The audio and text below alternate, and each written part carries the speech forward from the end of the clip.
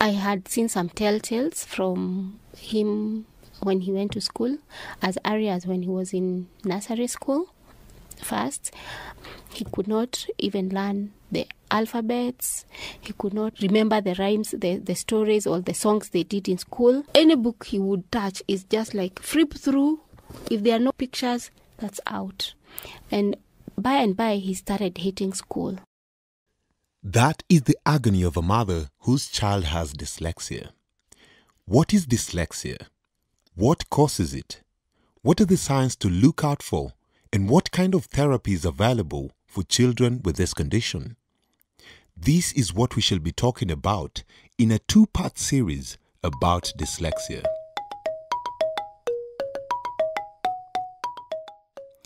To understand more about dyslexia, we shall talk to a dyslexia therapist as well as a parent of a child who has dyslexia. For Transworld Radio, I am Robert Ocheng. Dyslexia is a learning difficulty that affects one's ability to read and write. A child with dyslexia finds it difficult to differentiate letters like B, P, and D, W and M, U and N, and F and T, since the brain cannot recognize the direction these letters should face. As a result, children with the condition read the word incorrectly or reverse the letters. Joseph Bango is an occupational therapist and often works with children with learning disabilities. He explains more. The major challenge here is inability or difficulty in reading skills. But again, it can extend beyond that and affect other aspects of learning, which include spelling, pronunciation, writing, mathematics, and, of course, writing skills. Phyllis Kariuki is mother of Felix. She first realized her son Felix was different when he joined preschool. Having that I had a, an area child who was very vibrant, very active, I thought having that he has a role model of some kind in the house, he would pick up, but he was totally different. Um, when he went to pre-unit, that's when they started learning to read words. He had problems reading words. He actually could not read at all while the other boy could read in pre-unit the very basic words, the three-letter words, the two-letter words, but him he could not. I thought it was just like I'm too anxious, I'm expecting too much, but I was now becoming hard on him. Several reports by Felix teachers that he was performing poorly in reading and spelling worried Phyllis, and it began to take toll on her son's self-esteem. I pushed him. Everybody at home was like, Why are you not able to read? Why can't you be like so and so? Uh, he hated anything to do with reading. What about activities outside of the classroom? He was very good. Anything that does not touch books. If you told him to do cleaning, tidy, do anything, he's good. But just mention like, you've not done your homework, he would just like get tensed. One day, Phyllis stumbled on an article about dyslexia in one of the local dailies, and that was her turning point. I learned he had a problem. When he went on to class one now, I think the problem was like became bigger. The more the reading, the bigger the problem. At class two, that's when I learned the word dyslexia. From? A newspaper magazine that had written the word children who write doy for boy. I would say it was early 208, so a lot of people didn't have internet. By luck, I had internet in my office. So I went, Googled this word dyslexia, and Winnie, So there was so much information. I was like, have I been in this country? Have I been having this thing on my desk and I didn't know this problem? So I went and shared with the teachers and told the teacher, and you know what? Um, I actually have known what my problem, what the problem with my son is. He has dyslexia, and he's like, "What is that?" Um, I explained it to him. I gave him the printout, hoping they will read. Another month goes. I'm called again. I was called to discuss the performance. I wanted to find out whether the teachers had actually looked at the papers that I gave them. And to my surprise, the teacher had not looked at it. Um, one actually told me, you know what, Mama Felix, we are so busy, we are marking, we are doing this, we are doing this. I actually have not had time to read that paper. And from that day on, I decided to do it myself.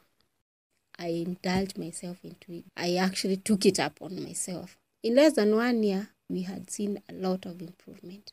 Actually, what I did, I went back to the internet and Googled any website that popped. I contacted and I was, my son, I'm a Kenyan. My son is eight years. He has dyslexia and there's no help in Kenya.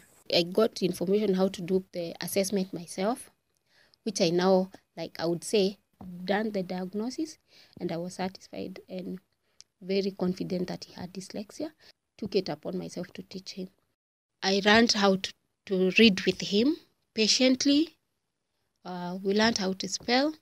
And in less than two months, the teachers were like, Mama Felix, what are you doing? There's an improvement. Total improvement. He had gained confidence, his reading had improved, his spelling had improved. Researchers think genes and brain function might play a big role in dyslexia. Phyllis has a twin sister whose son is also dyslexic. This could easily point to genetics, but Joseph also includes other possible causes of dyslexia. There are three causes that are believed to be leading to dyslexia. One, it is a, a genetic problem. Scientific studies have discovered that children with dyslexia have got certain genetic disorders that affect the sixth chromosome. Uh, is that it is a, a genetic problem. Scientific studies have discovered that children with dyslexia have got certain genetic disorders that affect the sixth chromosome. Another possible cause is biological or neurological. Children with dyslexia, the left side of their brain has got some abnormalities in the cell arrangement, and that is actually the side of the brain that controls reading. But again, the environmental factor is a third force that come into play. So normally there is an interplay between genetic and environmental factors that can contribute to the child having difficulties with reading skills. When we read, the brain translates the symbols we see on the page into sounds. Then it combines those sounds into meaningful words. Typically, the areas of our brain responsible for language skills work in a predictable way. So if a child has dyslexia, those areas don't work together in the same way. Kids with reading issues end up using different areas of the brain to compensate. Joseph says that dyslexia can easily be identified in children who have just begun school at around age 4 because that is when they start simple reading and writing. He explains more on diagnosis and why early assessment is key in managing dyslexia. Conducting a reading test is one of the key areas of understanding if it is dyslexia or not. And there are some screening methods that can be used to sieve out the possibility of any other condition affecting the reading skills. So, as long as a child has gone to school or not going to school but can be able to access a reading specialist or a special needs teacher or occupational therapist, it is possible to ascertain if the child is struggling with the identification of sounds, retrieval of words, uh, if there is also some aspect of delayed speech or difficulty with the left right orientation difficulty with retrieving some words that have been learnt before.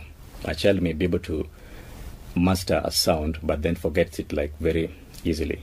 So if you have got all these symptoms put together, then it is actually an indicator that reading is compromised. So we trend to believe that it is dyslexia. Dyslexia risk factors include a family history of dyslexia or other learning disabilities, premature birth or low birth weight, exposure during pregnancy to nicotine, drugs, alcohol, or infection that may alter brain development in the fetus, and individual differences in the parts of the brain that enable reading.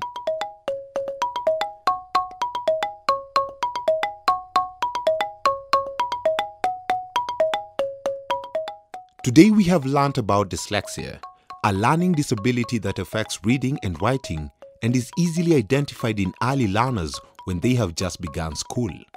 we have heard from Joseph Bangle, a learning specialist, as well as Phyllis, a parent of a child with dyslexia. The possible causes of dyslexia are a family history of dyslexia or other learning difficulties and environmental factors such as trauma during birth or use of drugs by expectant mothers that affect normal brain development of the child. In the second part of our program, we shall talk about the complication that children with dyslexia face and the treatment available.